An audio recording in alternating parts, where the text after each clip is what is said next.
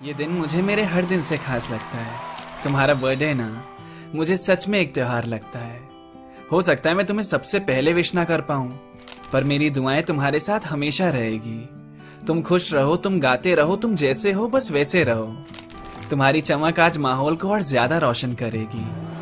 आज भूलना मत, शानदार पार्टी करना। सारी उदासी को मोमबत्तियों के साथ फूक देना। ये साल तुम्हारा पिछले हर साल से ज़्यादा बेहतरीन होगा। तुम्हें हर दिन खुशियों सा फील होगा। तुमसे ज़्यादा मुझे इंतज़ार रहता है तुम्हारे बर्थडे का।